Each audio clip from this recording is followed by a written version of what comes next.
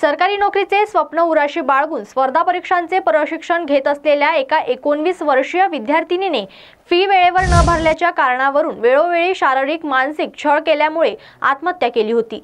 या विद्यार्थिनीला आत्महत्या करण्यास प्रवृत्त केल्याप्रकरणी बजाजनगर येथील पोलीस भरती रेल्वे भरती वनरक्षक व इतर शासकीय नोकरीचे प्रशिक्षण देणाऱ्या गरुड झेप अकॅडमीच्या संस्थाचालकासह पाच जणांविरुद्ध M I D C Waluj police ठाण्यात गुन्हा दाखल करण्यात आला होता. या प्रकरणी आज खूप डेसीपी नितीन बगाडे यांनी आपल्या सहकार्यांना सोबत घेत गरुड झेप करिअर अकॅडमीवर छापा टाकला आहे. यावेळी गरुड झेप करिअर अकॅडमीमधील विविध रेकॉर्ड तपासले जात असून गरुड झेप करिअर अकॅडमीमधील रहिवासी मुलांची तसेच संस्था चालकाची खुद डीसीपीने बकाट यांनी चौकशी केली आहे. सर गरुड झेप करिअर अकॅडमीमध्ये जे आहे ते मुलीनं संस्था चालकाच्या जाचाला कंटाळून आत्महत्या केली होती आणि संबंधित पाच जणांवर येथील ठाण्यामध्ये गुन्हासुद्धा नोंदवण्यात आलेला आहे. आणि त्याच अनुषंगाने आम्ही तुम्ही जे आहे ती भेट दिलेली आहे. काय पाहणी केली आणि याच्यावर काय अजून पुढील कारवाई करण्यात येणार आहे?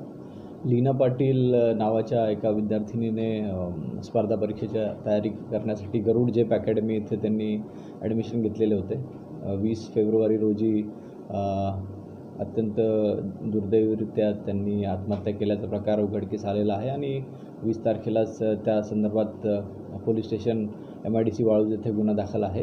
त्याच्या चौकशी संदर्भाने आज आम्ही इथले पी आय आघाव आणि इन्व्हेस्टिगेटिंग ऑफिसर आणि आमची सर्व टीम तिथे जे कागदपत्र होते अम, गरुड जेप अकॅडमी इथे आणि तिथली परिस्थिती एकंदर परिस्थिती आणि घटनास्थळाला भेट देऊन आम्ही पाहणी केली असता बराचसा खेदजनक प्रकार आढळून आलेला आहे आणि त्याच संदर्भाने पोलीस यापुढे चौकशी करत आहेत. सर आरोपी ताब्यात आहे? आरोपीला ताब्यात घेण्यासाठी आम्ही टीम रवाना केलेल्या आहे.